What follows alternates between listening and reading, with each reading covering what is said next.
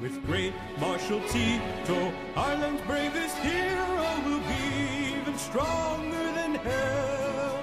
We raise our head bravely and not hung down gravely and clinch our fists hard as well. We raise our heads bravely and not hung down gravely and clinch our fists hard as well.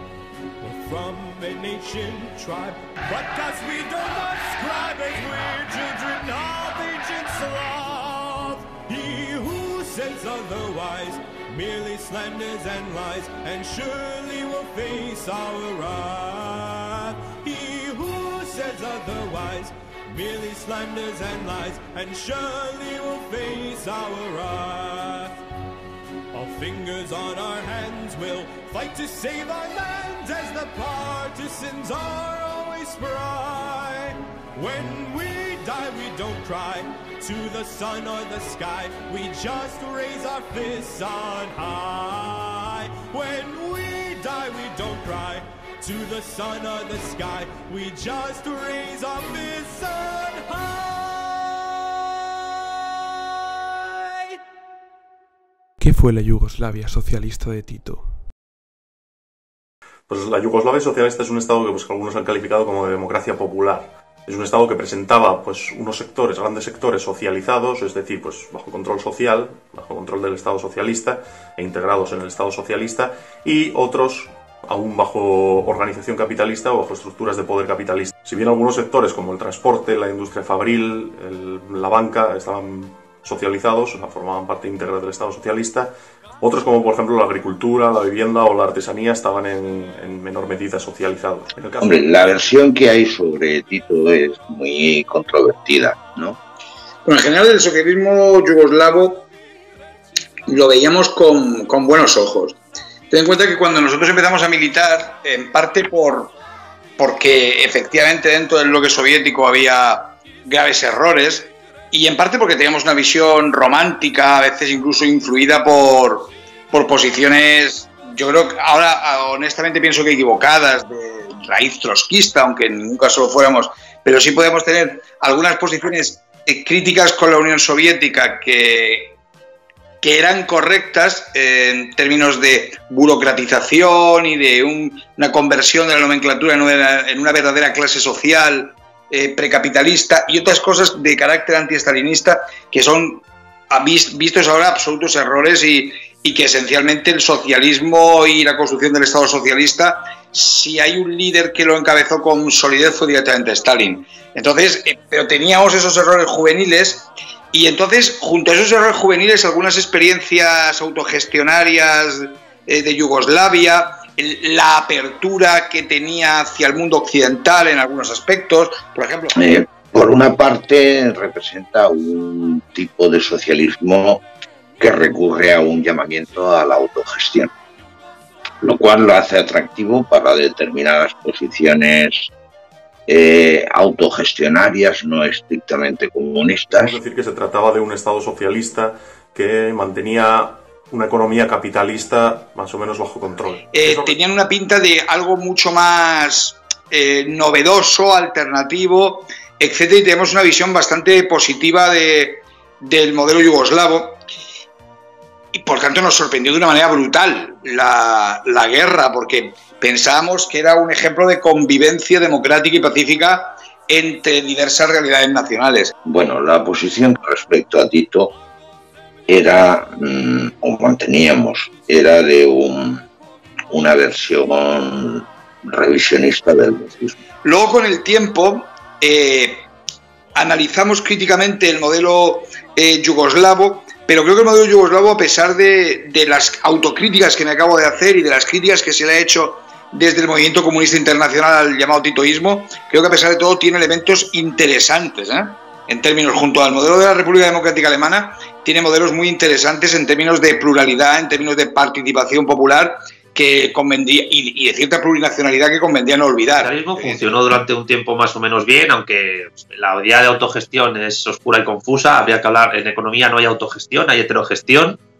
La gestión de las empresas privadas se entremezcla con, está determinada y está en conjugándose constantemente con la gestión de la economía pública, de la administración pública, las empresas estatales entre sí y las empresas privadas entre sí. Y esto pasa tanto en el mundo socialista como en el mundo capitalista. Ahora, con años de distancia, pues lo que veo es que era un tipo de, de socialismo que levantaba la bandera de, de la autogestión, pero que en el fondo no se escapó a la gestación de una nueva clase dirigente que se atrincheró dentro de, de las peculiaridades de, de, las diferencias nacionales que componían el Estado yugoslavo para provocar finalmente la destrucción de Yugoslavia. Hay que tener en cuenta ya directamente que el, Estado yugoslavo era un Estado conformado por seis repúblicas distintas. Dentro de estas repúblicas había incluso una variedad étnica aún más variopinta. Pues incluían prácticamente todos los credos habidos y por haber, pues había como religiones mayoritarias el cristianismo ortodoxo, el cristianismo católico, el islam, que era mayoritario en algunas zonas, pero que también había protestantismo, también había judaísmo y prácticamente pues un conglomerado de religiones enorme, ¿no? Y a esto se sumaba también pues la presencia de grupos étnicos de mayoritarios en otros países como podrían ser turcos, como podrían ser albanos y como podrían ser griegos, y configuraban pues un mapa étnico muy heterogéneo. Eh, durante la Segunda Guerra Mundial ya se montan tres, tres bloques. Por una parte los abiertamente fascistas que apoyaban a los nazis, por otra parte un movimiento monárquico mm, eh, que se oponía a los alemanes y un movimiento de derechas fascista en Croacia. El éxito de Tito, el éxito de Tito consistió en que precisamente supo enarbolar la bandera unitaria de todos los pueblos que componían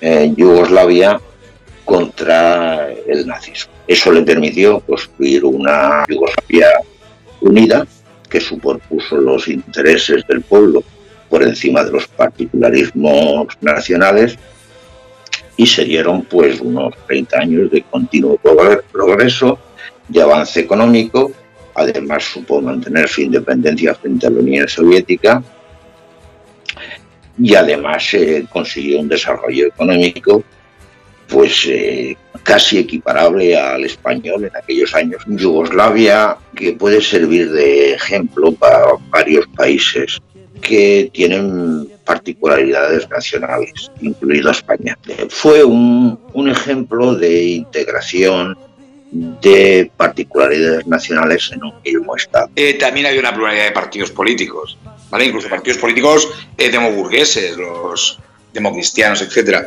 El caso, en el caso de Yugoslavia era más claro eso, y además luego había una serie de espacios de autoorganización popular eh, en términos sindicales, en términos de cooperativas, en términos de, espacios autogestionarios, que a pesar de la caída del, modelo yugoslavo, no tenemos por qué no reivindicar.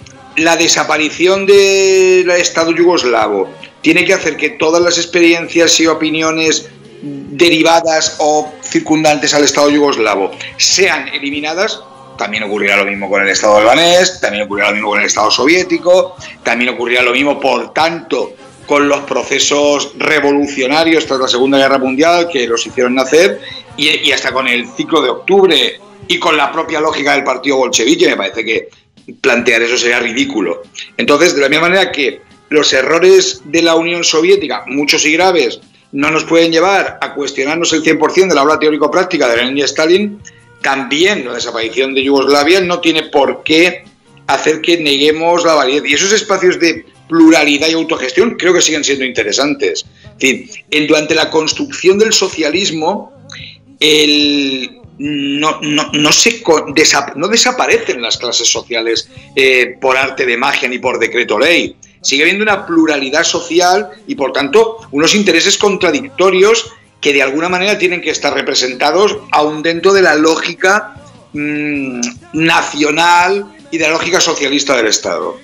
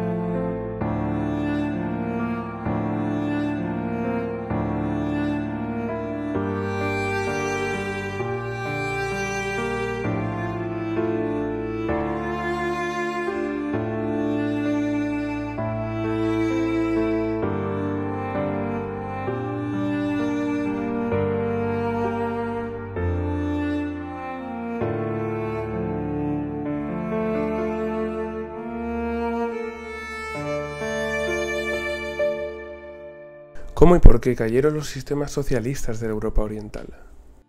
El escenario de vital importancia que hay que analizar a la hora de entender la caída de la Yugoslavia socialista es la desintegración del bloque del Este. ¿no? Como comentábamos, durante la Guerra Fría se dio un status quo en el que las dos superpotencias, Estados Unidos y la Unión Soviética, mantuvieron una hegemonía sobre dos bloques bastante diferenciados y en los cuales las injerencias eran, digamos, tibias y en muchos casos infructuosas.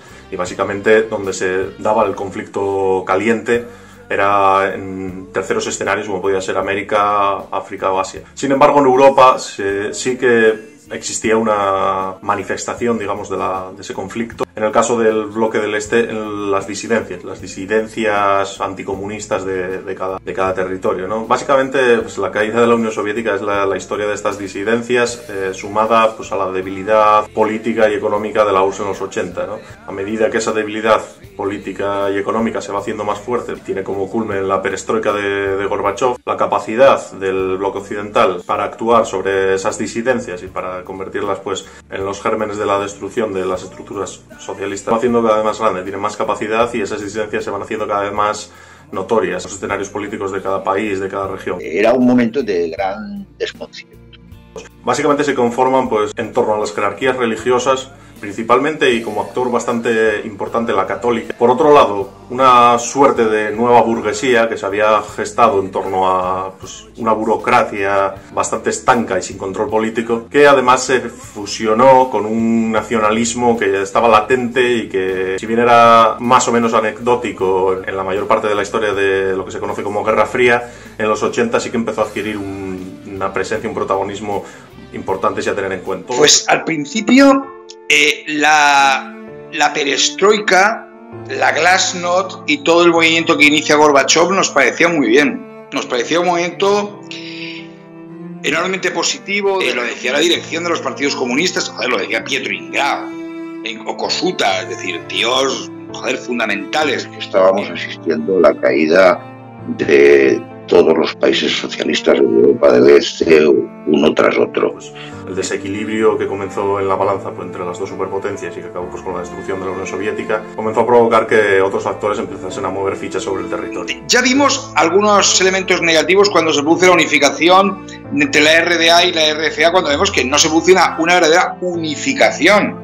Cuando dirigentes de estados eh, legales y legítimos, Honecker o, o Egon Krenz, son poco menos que criminalizados o directamente criminalizados y la fusión entre ambas Alemanias se hace mediante una absorción, es decir, la RDA es integrada en la, en la RFA y además los habitantes orientales en condiciones de realmente desfavorables. Ya empezamos a verlo críticamente y luego la, la, aparición de personajes siniestros en cierta medida como Yeltsin eh, nos hizo aumentar esas críticas.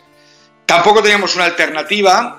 Eh, de hecho, al principio también vimos muy positivamente la reconversión de la izquierda comunista en una izquierda más amplia, la conversión del Pichi en el Partido Democrático de la Sinistra o en cierta medida del Partido Comunista en Izquierda Unida, cosas que algunas hoy reivindicaría y otras que considero errores eh, gravísimos. Muchas de ellas es, eh, y ahí lo dijo muy certeramente Ingrao, que llega un momento en que ya la, la deriva poscomunista termina siendo anticomunista. Entonces Ingrao decía, joder, nosotros por qué tenemos que arrepentirnos y pedir perdón por, la, por un modelo que nosotros siempre criticamos. Es decir, el socialismo con derivaciones y desviaciones burocráticas que nosotros nunca habíamos apoyado, al menos no al 100%, no podía ser su desaparición el motivo por el cual los partidos comunistas de Europa Occidental también desapareciesen o se vistiesen de lagarteranas.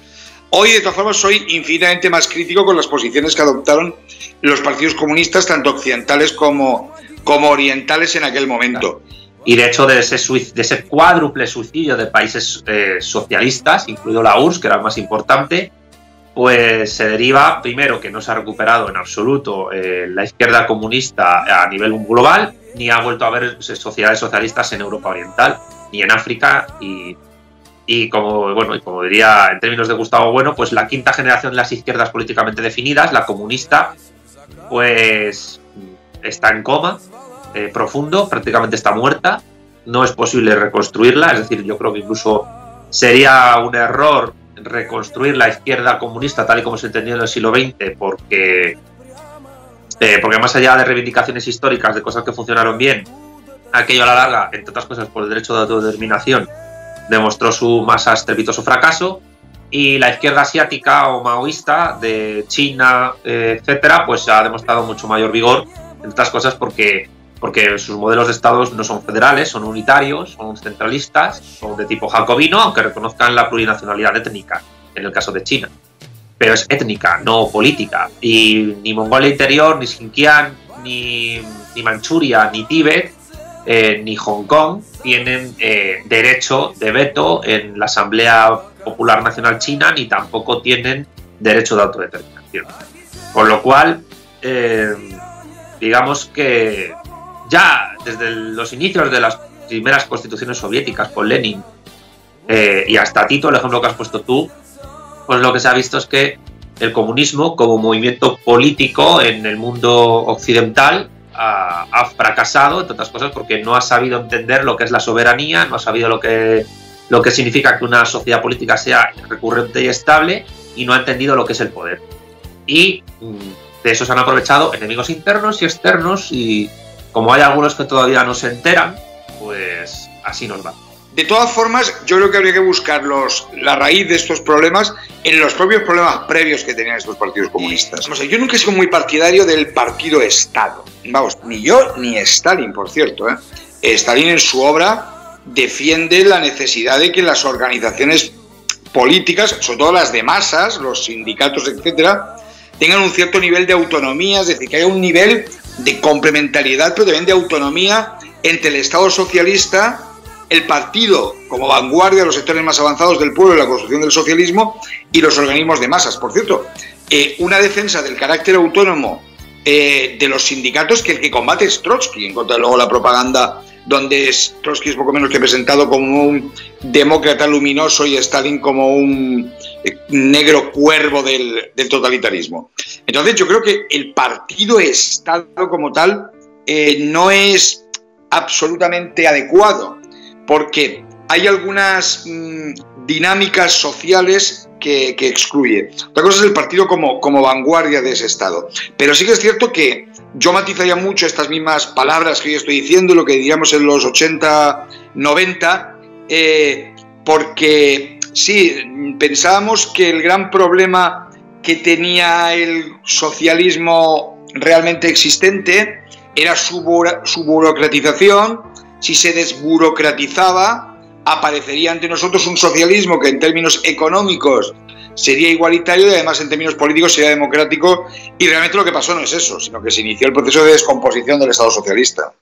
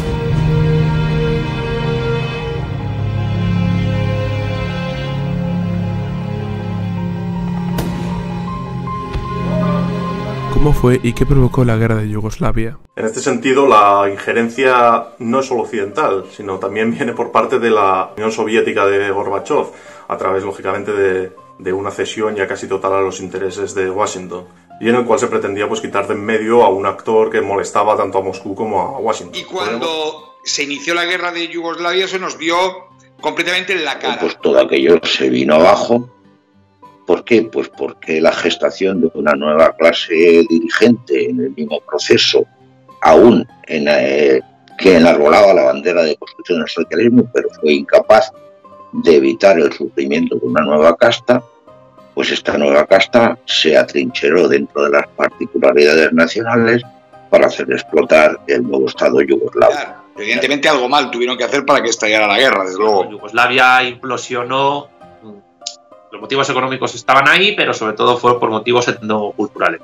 Naturalmente, en todo este proceso, pues se vio la mano clara de Alemania, que estaba interesado sobre todo en Croacia y Eslovenia, que económicamente estaban más desarrollados que Serbia, Montenegro o Macedonia. En el caso de Yugoslavia tenemos dos partes bastante diferenciadas. La primera fue un caso al uso en en el manejo de esta disidencia nacionalista que comentábamos por parte, en este caso, de la Unión Europea a través de Alemania y del Vaticano principalmente.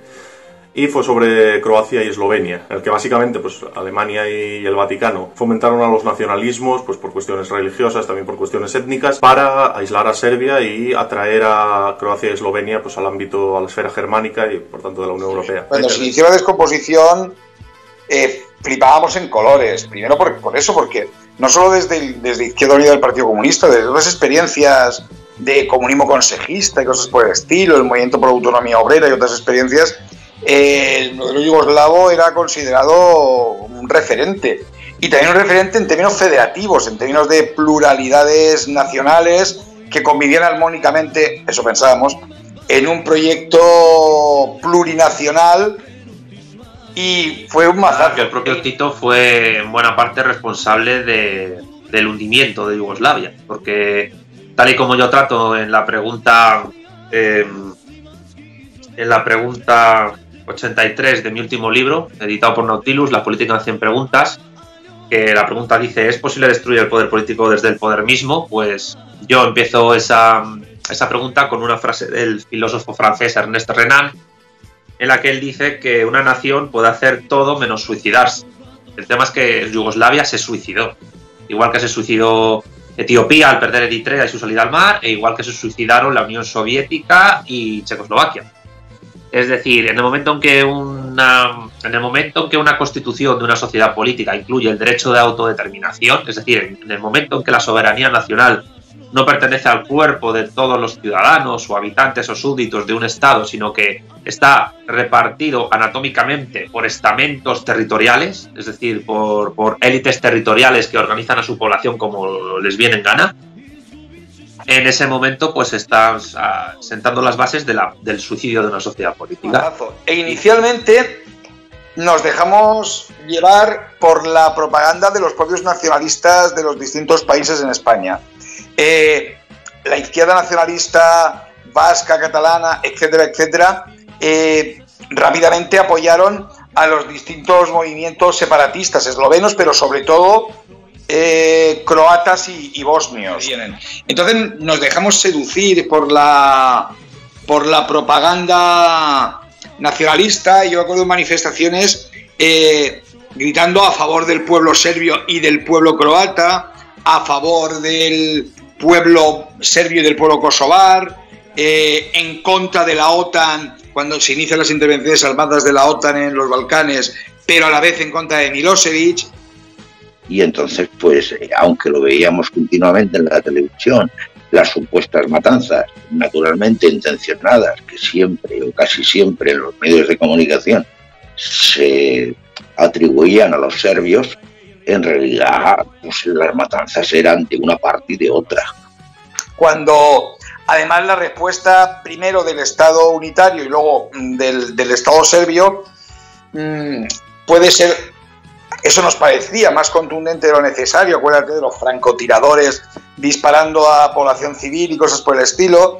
Y luego que el líder de los serbobosnios era un tipo, pues, mal encarado, poco presentable, o eso nos parecía, como Karadzic. Y luego el líder de la, de la Yugoslavia unitaria eh, también nos parecía un tipo poco simpático. Esto es una mierda de degeneración burguesa, eso de que la gente te caiga simpático o antipático, pero los factores empáticos de alguna manera intervienen. La, justificación de la intervención de la ONU y de la OTAN en Bosnia a favor de Croacia y a favor de, de los bosnios, no, pues en realidad decían, bueno, pues es que los serbios son muy malos, pero las matanzas vinieron por parte de una parte y de otra el propio poder yugoslavo, empezando por Tito, puso las bases para que eso ocurriera. Se produjo la guerra de los seis días que llevó a la independencia de Eslovenia, enseguida reconocida por la Alemania recientemente reunificada. Y durante todo el resto de la década, pues se produjeron las guerras eh, yugoslavas o de los Balcanes, que trajeron muchísimos muertos y muchísimos desplazados. Y bueno, eh, la reactivación del yihadismo en Europa, eso también lo trajo la balcanización de Yugoslavia y la sumisión de todos los estados eh, herederos de aquella república yugoslava, eh, de la Unión Europea, de la OTAN, eh, etc. Quiero decir, un completo, un completo desastre y una, una de las mayores transformaciones geopolíticas históricas de los últimos tiempos, decisiva. Decisiva hasta el punto de que probablemente no se haya resuelto todavía la situación geopolítica en la zona y esté lejos de, que eso ocurra, pero evidentemente lo que, lo que pasó en los 90 fue una, una, completa debacle social. Los medios de comunicación llamaban mucho la atención sobre las crueles matanzas en plan morbo que, se exhibían pues no suscitó dentro de la izquierda excesivo interés. Yo recuerdo que en un congreso del PC de 1999, cuando la OTAN estaba bombardeando Serbia, pues hubo una intervención muy aplaudida que decía, bueno, sí, Milosevic, Milosevic era el presidente de Serbia, Milosevic es un pequeño criminal de guerra, pero Javier Solana, que era socialista y además en aquellos momentos dirigía la OTAN, es un gran criminal de guerra. Pero bueno, ya se daba por entendido que había un malo en aquella parte del mundo, que era Serbia. Y, y esencialmente esta posición que hoy llamaríamos casi equidistante, la estuvimos manteniendo, yo lo estuve manteniendo hasta que empecé a leer algunas entrevistas a gente que no venían, bueno, Hanek y otra gente hablaban a favor de Serbia, pero a mí me conmovió textos de, gente, músicos y artistas, leyendo textos a Bregovic, pero sobre todo a Emil Kusturica, que decía una cosa que me, que me conmovió, ¿no? que él era hijo de varias naciones yugoslavas y sus hijos eran hijos de varias naciones yugoslavas, ahora con qué nación tenían que estar y entonces esa posición de desgarro me hizo replantearnos, me hizo replantearme y replantearnos y, también lanzamos algún panfleto eh, pidiendo una salida democrática y pacífica, pero intentando que los pueblos yugoslavos intentaran salvar Yugoslavia. Evidentemente fue un panfleto hecho por cuatro personas en España que no tuvo ninguna influencia y no sirvió para nada, porque además las fuerzas contrarias a la unidad eran mucho más fuertes que las favorables a la unidad. Piensa que en contra de la unidad estaba todo el mundo occidental, los mismos que ahora atacan a Bielorrusia o ayer atacaban a la República del Donbass, y están también las izquierdas nacionalistas, están también las izquierdas postmodernas, y a veces era muy difícil eh, abstraerte de eso, cuando además, evidentemente, en el bando serio también había crímenes gravísimos y errores, desde luego.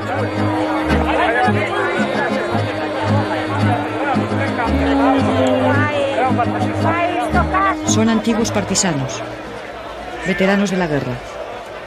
Si se les pregunta ¿de dónde eres?, su respuesta posiblemente será soy yugoslava, algo nada frecuente en una tierra donde habitualmente la gente se identifica como católico croata, serbio ortodoxo, bosníaco musulmán. Han salido a las calles de Belgrado para defender ese sentimiento de identidad yugoslava que vieron nacer emboscados en las montañas durante la lucha guerrillera. Apenas hace unos años eran héroes nacionales. Ahora ven como grupos de jóvenes Chechenios les increpan y les llaman traidores a Serbia. Iros a Zagreb, les dicen. Y el insulto más terrible, Ustachis. Quizás Yugoslavia no sea sino un sueño soñado por esos hombres y que desaparecerá cuando ellos cierren los ojos definitivamente. La Yugoslavia de Tito fue una creación de, la unión de los intereses del pueblo.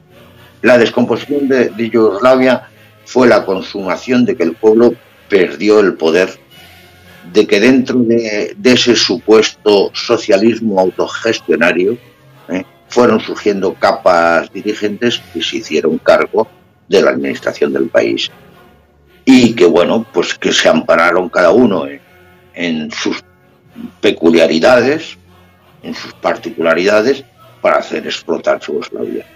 Yugoslavia se mantuvo unida mientras los intereses del pueblo predominaron sobre los intereses de determinadas castas eh, o capas dirigentes. Ellos se aprovecharon de las grietas de poder que encontraron. Si no hubieran existido esas grietas, jamás hubieran hecho lo que hicieron.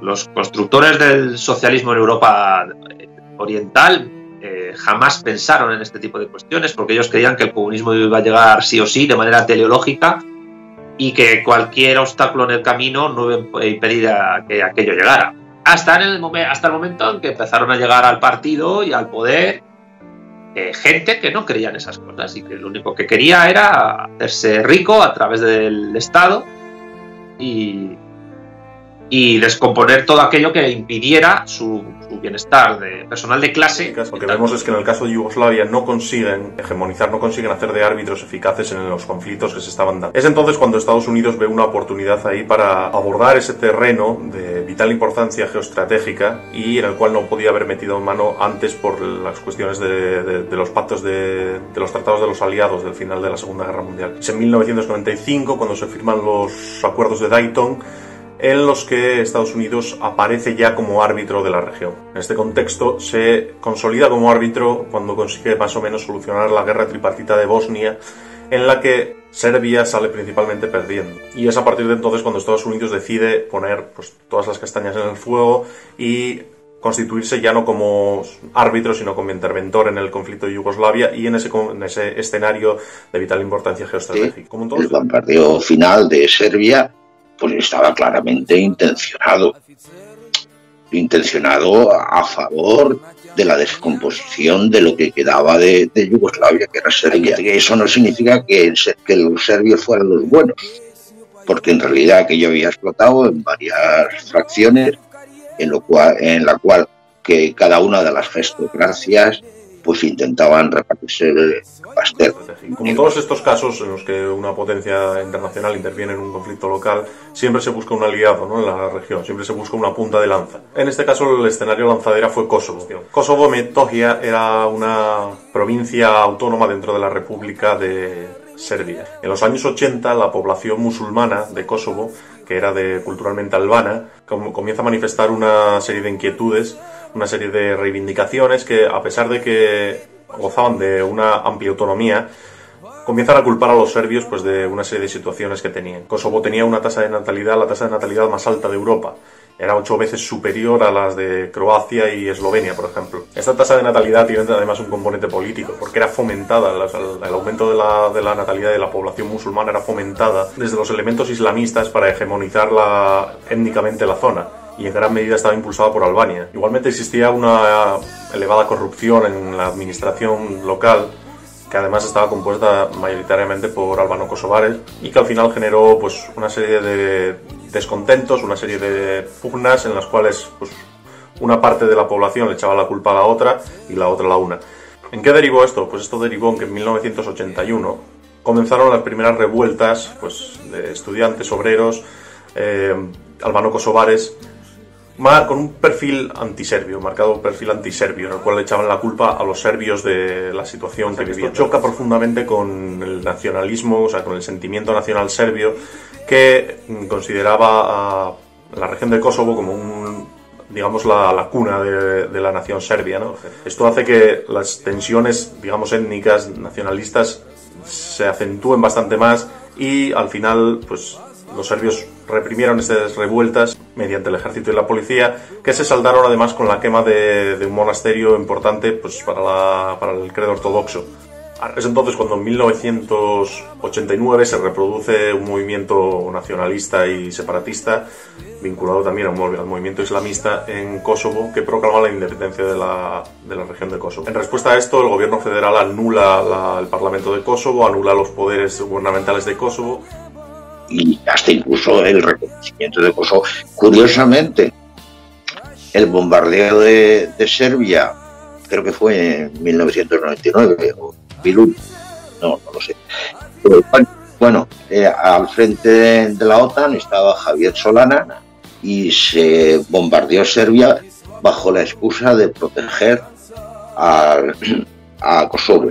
Desde marzo de 1998 se inicia en los medios de comunicación norteamericanos una campaña de promoción internacional del UCK. Los iniciales terroristas del Ejército de Liberación se transforman por arte de magia en guerrilleros que luchan por la libertad de un pueblo. Y en este panorama, en este campo de cultivo, se produce la intervención de, la OTAN, que tiene como casus belli como digamos excusa como motivo oficial la ayuda a los distintos grupos étnicos que estaban sufriendo pues una limpieza étnica por parte de los serbios la guerra, pues que se desarrolla de una forma bastante cruenta, bastante salvaje para tratarse de un escenario, pues un país avanzado en el medio de Europa y demás. Termina con la capitulación de Milosevic, aceptando pues los, unos puntos de paz que le propone el G8. Entonces, vale, se bombardeó a Serbia para proteger a Kosovo. pero Kosovo sigue sin estar reconocido como Estado por el gobierno español porque se tiene miedo que se equipare al reconocimiento de, de, de Cataluña o del País Vasco.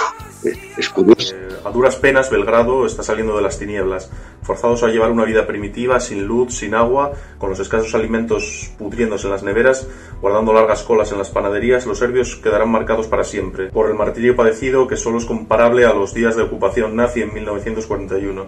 Siete aeropuertos están fuera de servicio, las 40 principales industrias del país destruidas y reducidas a escombros, un porcentaje superior al 50% de la capacidad energética ha sido eliminada, más de mil edificios han sido destruidos, al menos 16 centros sanitarios han quedado reducidos a cenizas, en los hogares belgradenses no existe agua y cuando sale es un lodo rojizo y nauseabundo. El corte del fluido eléctrico impidió practicar operaciones en los quirófanos de los hospitales. Ahora 10.000 enfermos esperan turno para poder ser operados. Como mínimo han muerto 2.000 civiles y otros 6.000 han resultado heridos.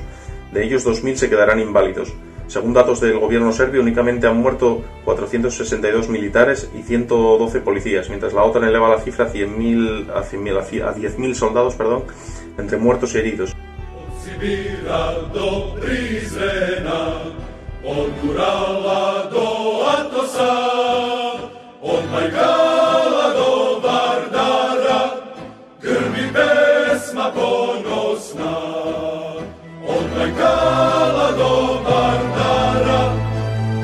Hey!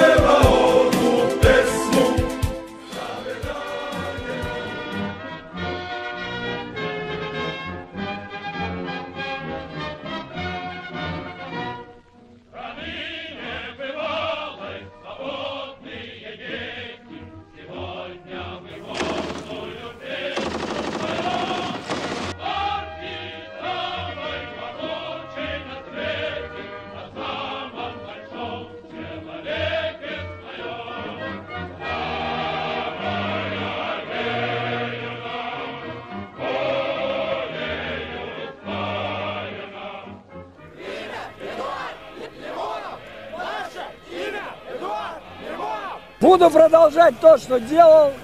Буду говорить, выступать честно, говорить людям правду, бороться за права русских. Comenzada la guerra en la Serbia de Milosevic, se produce un fenómeno de acercamiento y alianza entre posiciones Chetnik y de la extrema derecha con los comunistas. Así, Serbia formará un gobierno de, de coalición nacional entre los socialistas, titoístas y estalinistas, junto a los chetniks del Partido del, del Renacimiento Serbio. A su vez, estas colaboraciones se ven aún más claras en el frente, donde militares nostálgicos del titoísmo cooperan con milicias comunistas y Chernik. Es en el frente de Bosnia y Croacia donde empieza a tomar forma el fenómeno del nacional-bolchevismo, con la figura de Eduard Limonov en Vukovar y Sarajevo. Lo toda la política son los intereses de clase. Y los intereses de clase pues acaban adoptando formas de nacionalismos, que es lo que pasó en, Serbia. Bueno, la dialéctica hace extraños compañeros de cama. A nosotros, eh, supongo que a una mentalidad eh, criada e ideologizada en una sociedad liberal democrático burguesa de Europa Occidental o de América, ese tipo de, de alianzas les puede sonar, nos puede sonar, eh, incluyo yo, pues eh, anacrónicas o perjudiciales para el movimiento comunista.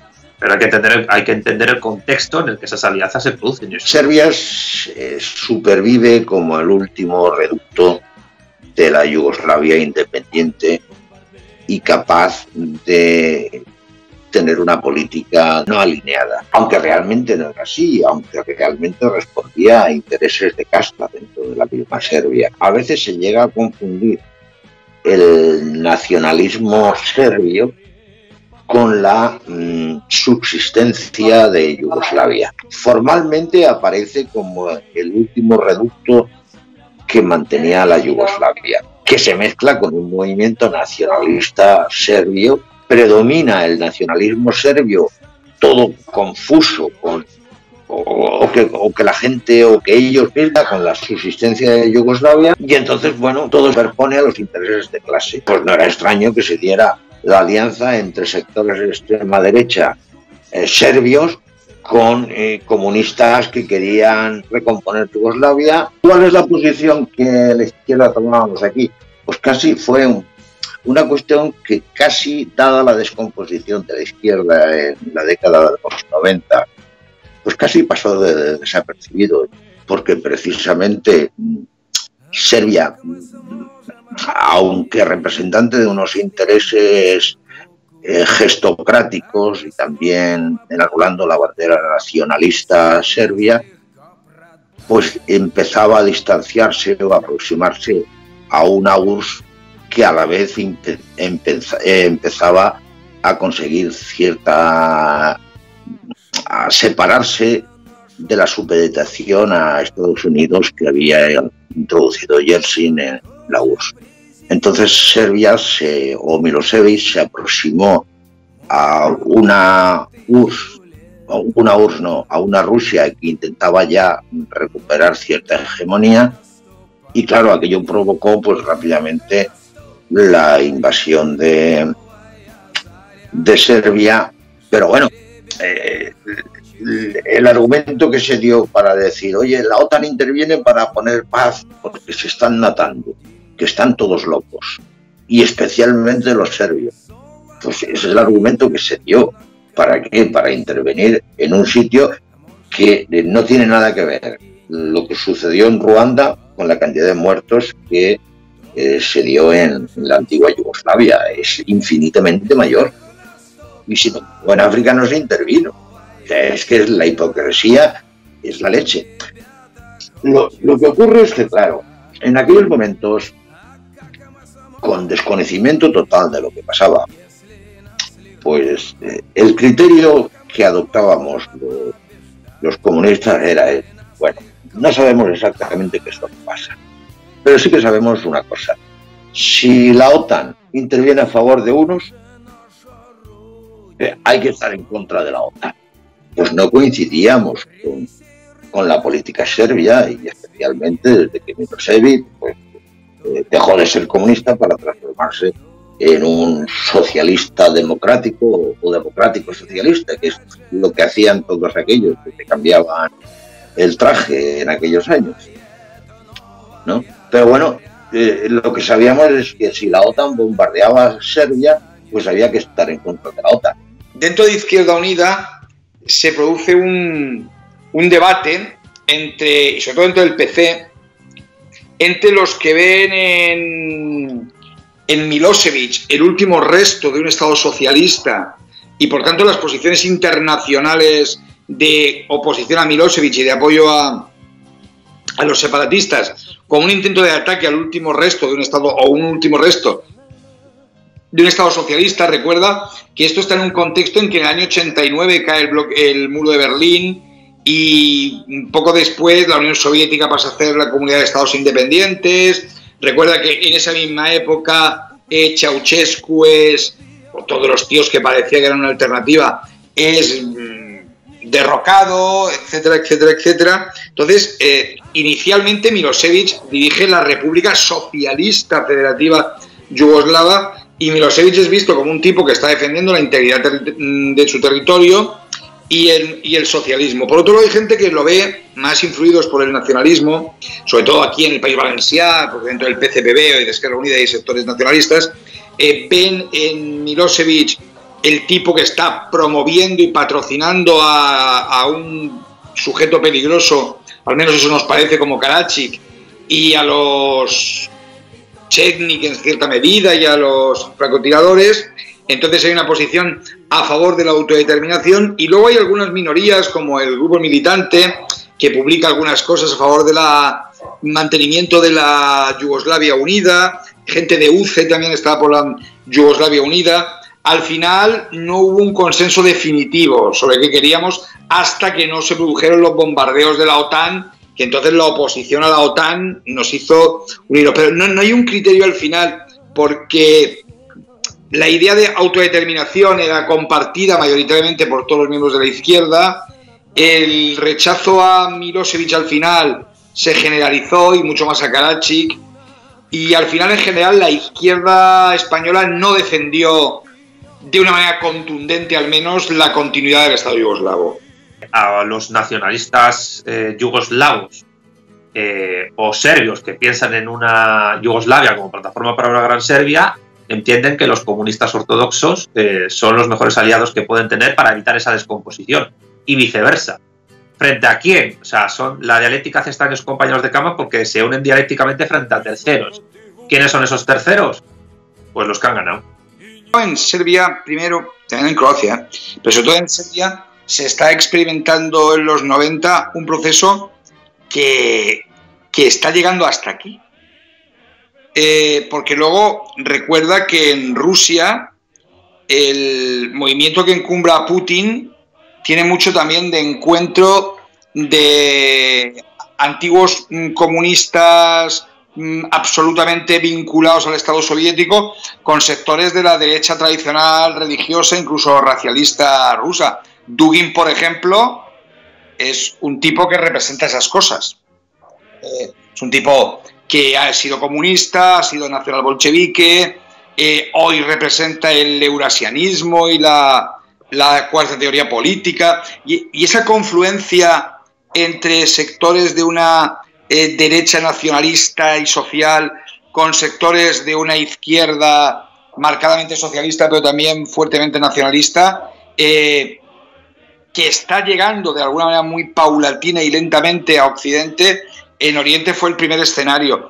Eh, la Unión Europea, la OTAN, Estados Unidos, el liberalismo, la socialdemocracia, eh, los defensores de la ideología del fundamentalismo democrático, etcétera. Eso es lo que eh, contra eso se unían. Quiero decir, es como no sé, pongamos un, un, contexto hipotético de historia ficción. Imaginemos que Hitler eh, invade España después de la guerra civil. Imaginemos que, que hubiera ocurrido algo así. No sería descartable, eh, quizás, que hubiera elementos del bando victorioso en la guerra civil, falangistas, nacionalsindicalistas, eh, nacionalistas españoles, incluso monárquicos, alfonsinos, etcétera, que pudieran haberse unido con algunos elementos del bando perdedor de nuestra guerra civil, comunistas, anarquistas, etcétera, contra una invasión. Es decir, los patriotas yugoslavos de cualquier signo ideológico, en un momento dado vieron que la balcanización del país era eh, una forma de invadir el país, pero una invasión sin tropas. Era una invasión a través de terceros, inoculados dentro de la propia sociedad eh, yugoslava, que trabajaron para la gente que estaba fuera, es decir, una forma indirecta de, invasión. Y bueno, procesos. Claro, que Limonov también hay que darle de comer aparte porque Limonov luego estuvo a favor de, la balcanización de España. Eh, pero procesos parecidos han ocurrido en, Ucrania eh, desde hace tiempo, en Rusia, en toda la parte que, de, la parte étnicamente rusa de, rusa de Ucrania, y algo parecido sigue ocurriendo en Rusia. ¿Por qué? Porque, bueno, se unen frente a terceros. Luego dirán, bueno, una vez que hayamos derrotado a ese tercero, pues ya nos daremos eh, nosotros de hostias si, si, toca. Algo parecido hicieron los chinos, eh, que pusieron entre paréntesis su guerra civil, su, el Kuomintang y el Partido Comunista Chino, contra terceros. ¿Contra quién? Contra Japón. Es decir, eh, la izquierda asiática y el nacionalismo extremo del Kuomintang en muchos casos, pues llevó a una, a una solidaridad. Hasta el punto de que hubo una parte del Kuomintang que, que, llegó a simpatizar con las ideas comunistas. Y todavía sigue habiendo una parte del Kuomintang integrado en, en la coalición gobernante de la República Popular China. Eh, ese tipo de coaliciones en el mundo no socializado ni ideologizado históricamente en el liberalismo pues son bastante comunes, es decir, Europa Oriental, Asia, etc. Igual que ocurre que en Palestina, eh, pues a lo mejor la OLP y Hamas eh, chocan en muchas cosas, como no puede ser de otra manera, porque la OLP es una organización laica y de corte marxista y Hamas es un grupo islamista, pero frente a Israel se unen. Eh, en una sociedad liberal democrática en la cual la oposición gubernamental es feroz escenográficamente, es feroz eh, discursivamente, pero luego a nivel material no es tan feroz porque todo el mundo tiene amigos de otras ideologías y todo el mundo, eh, en el fondo, pues eh, los parlamentarios se ríen en el Parlamento cuando les ven las cámaras entre ellos y se quedan a tomar algo, pues, y pues no pasa nada. ¿Por qué? Porque los dimes y diretes de la sociedad política democrática se resuelven con el voto, se resuelven entre comillas, con el voto y hasta la próxima. Pero cuando una sociedad está invadida y está en proceso de descomposición, ahí no hay diálogo que valga más que para ponerse de acuerdo para derrotar al, enemigo. ¿Qué pasó en España en la guerra de independencia? Que los liberales y los serviles se unieron contra, contra el francés. Eh, y los liberales eran la izquierda de la época y los serviles eran los, los reaccionarios de la época. Ah, cuando la patria está en peligro, tanto por su unidad o por una invasión, eh, los eh, adversarios o enemigos internos tienen que o hacer tregua o ponerse de acuerdo para establecer un orden nuevo de, cosas. Entonces, ¿qué ocurre? Que sociedades políticas que llevan décadas o más de un siglo eh, dirimiendo sus controversias a través de la bueno, del diálogo, del diálogo parlamentario y de los medios de comunicación, pues no necesitan mm, llegar a, a esas situaciones. Entonces, me parece prematuro, aunque nos pueda chocar por nuestra mentalidad, por cómo nos hemos socializado, condenar que un comunista yugoslavo se alíe con un eh, ultranacionalista serbio contra eh, un proceso de sumisión de tu país. Yo creo que tiene mucho que ver con que la nación es un hecho realmente existente y que muchas veces eh, los seres humanos se agrupan en posiciones y en colectividades donde hacen que su identidad tenga sentido. El otro día, y a lo mejor no es una cita especialmente marxista, pero en un artículo, el otro día decía Iñigo Errejón que esa identidad colectiva que los seres humanos siempre han tenido, solo ha cristalizado políticamente en torno a tres ideas. La clase obrera, eh, la nación y la religión, en la medida en la que sea. Y muchas veces se, se complementan. Y los serbios y los croatas en cierta medida se la tienen jurada. Piensa que cuando surgen los comités yugoslavos, el movimiento de la unificación nacional, etcétera, etcétera, etcétera, los que están dirigiendo a finales del 19, principios del 20, el, paneslavismo yugoslavista, etcétera, son croatas. Y en cambio, el Estado que quiere dirigir, eh, que quiere ser la Prusia de Yugoslavia, es Serbia. Y eso provoca importantes desencuentros. Hay que tener en cuenta que los serbios pues eran, creo que componían el 30% de la población de Bosnia.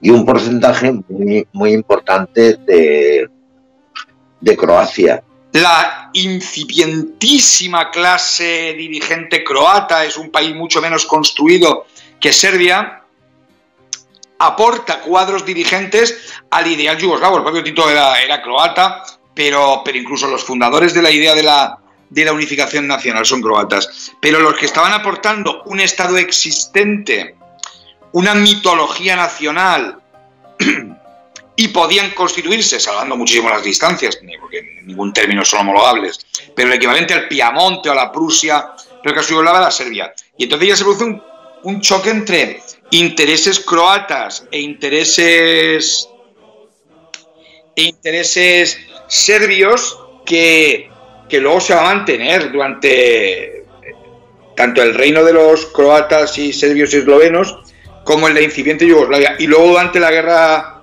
la, guerra mundial, hasta que ya los partisanos, en el fondo, los Chetnik y los Ustash, en el fondo, si los analizas Obviamente los ustases son más fascistoides, más, están más nazificados y tal, eh, pero en realidad finalmente son muy, muy similares en cuanto a planteamientos y están enfrentándose hasta que llegan los partisanos y con sabio criterio los matan a ambos. Pero al final, ¿por qué están funcionando unos y otros? Porque en el fondo a los ustases los está patrocinando Alemania, como el movimiento croata y antes esloveno Alemania tenía intereses directos e indirectos en la zona y luego sí es cierto, y tú también lo has dicho antes, que Rusia tiene intereses en Serbia, es una de las causas de la Primera Guerra Mundial, todos lo sabemos. Y entonces también la construcción de Europa y sobre todo la construcción geopolítica de Europa Oriental, Centro-Oriental, tiene dos potencias que la pueden construir y el que la construya le disputará a Francia y al Reino Unido la construcción del conjunto Europa, que son Alemania y, y Rusia. Y Alemania y Rusia han tenido su espacio de, de, conflicto en los Balcanes y en Polonia, y eso explica mucho, porque por otro lado, los partidarios de la unificación nacional del siglo XIX, principios del XX, tienen razón. Eh, ser serbio-croata, si no me lo dices, no lo distingo.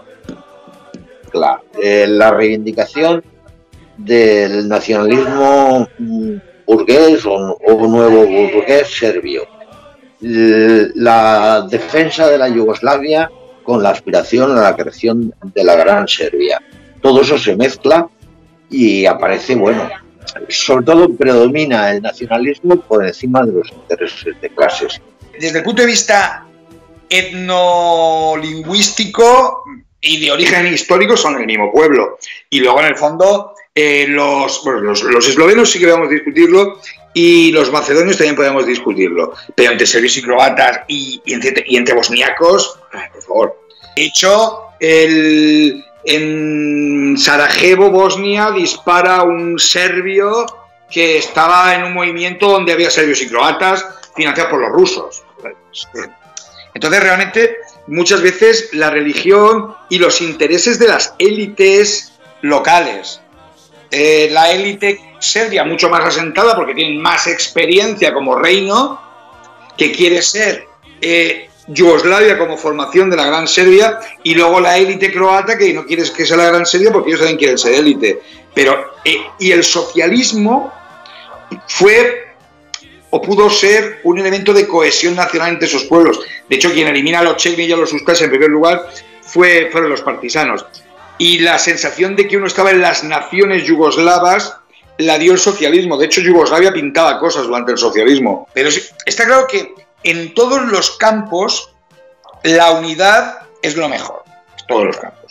Eh, además, en el campo socialista, aunque yo estoy en, el, en la órbita del federalismo, como sabes, y seguiré estando en principio, pero evidentemente la unidad siempre preferible. De hecho, en la Unión Soviética a los azeríes les iría bastante mejor en la Unión Soviética o a los turcomanos o a los caralpacos que intentando crear un Estado independiente de Azerbaiyán o de Turkmenistán, que ya están creados y tampoco pintan mucho, pero imagínate que a los caralpacos les da por crear un Estado. Pero es que en el caso eh, yugoslavo, es que no existen diferencias reales. Es una creación artificial, eh, sí, hombre, con raíces históricas, religiosas, con un sentimiento, pero que si el socialismo hubiera funcionado, pues evidentemente se habrían eh, mitigado. Ahora, el problema ahora que ver es por qué no funcionó el socialismo eh, en la antigua Yugoslavia y en Yugoslavia y en el conjunto de experiencias del socialismo real. Entendíamos que la creación de esta capa aristocrática era una derivación mm, directa del socialismo. Era una, una etapa que, sucedía al socialismo. Pero claro, aquellos no proclamaban una nueva etapa sucesora del intento de construir el socialismo. Aquellos proclamaban directamente que iban a reimplantar el, el, capitalismo. Al final lo que se ha visto es que no han reimplantado el capitalismo en la medida que lo querían hacer, ni en, ni en Rusia ni en otras partes. En todo caso, incluso en Rusia lo que han gestado es una nueva capa dirigente sucesora del capitalismo que ahora mismo están hablando mm, que son un régimen eh, iliberal. Por ejemplo, en Rusia, que no es estrictamente un sistema capitalista como el que pretendían instaurar cuando cayó la URSS.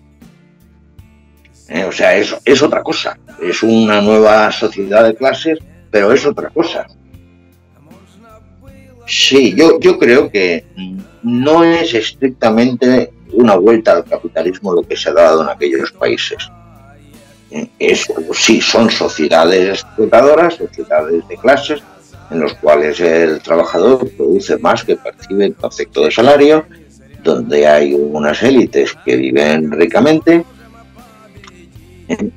pero no es la reimplantación del capitalismo como eh, la idea que yo dije cuando descompusieron la URSS y los países del este quisieron, ¿no? O sea, es, otra cosa, es otra cosa. Yo creo que, cuando pasen los años y desde un punto de vista crítico histórico se le podrá poner nombre. Pero creo que, que estamos ante que a la etapa de intento, yo no voy a decir socialista, pero sí de intento de construir el socialismo, ha sucedido un tipo de sociedad diferente, de clases también. No es la sociedad capitalista, modelo norteamericano, alemán o inglés. El Limonov es, es el representante típico, yo no estoy hablando del nacionalbolchevismo, ¿eh? es el, es el fascista de arquetipo. ¿eh? Un tipo que arriesga su vida heroicamente, acuérdate, él vive pericolosamente, un escritor brillante. Recuerda que el fascismo inicial está lleno de escritores brillantes y vanguardistas, Marinetti, eh, Malaparte, toda esa gente. Eh, un tipo que además se lleva, a, que por cierto coincidió casi en la práctica con los comunistas, recuerda que Hemingway también viendo la lucha en las guerras. O sea, un tipo de, del vive pericolosamente que aúna en las ideas sociales eh, revolucionarias del socialismo con las ideas no solo nacionalistas, sino gran nacionalistas eh, del, del, zarismo en cierta medida. Entonces, el zarismo en su caso, evidentemente hay fascismos que a otras. Eh, tenemos el nacionalismo étnico, la idea de la, de la gran madre Rusia que tiene mucho de milenarista y de la nueva Roma o la tercera Jerusalén o cosas por el estilo. Entonces, Limonov está un poco en ese rollo como Dugin. Bueno, Dugin más que Limonov, por cierto, porque Dugin es un tío que además, incluso su apariencia rasputinoide eh, hace que, esté ahí. Pero luego también tiene elementos muy, muy interesantes en el sentido de que la reconocen la importancia de la nación. En el mundo eslavo, la nación es una categoría fundamental. Mm, una posibilidad de una izquierda que no haga jamás referencia a la nación, eso es inviable. Ese movimiento no toma el poder, ese movimiento está ilegalizado, pero ese movimiento ha tenido varias semillas, algunas semillas están fuera, Dugin y el eurasianismo, pero otras semillas están dentro del movimiento de Putin. ¿eh? Y algunas otras permanecen dentro del Partido Comunista.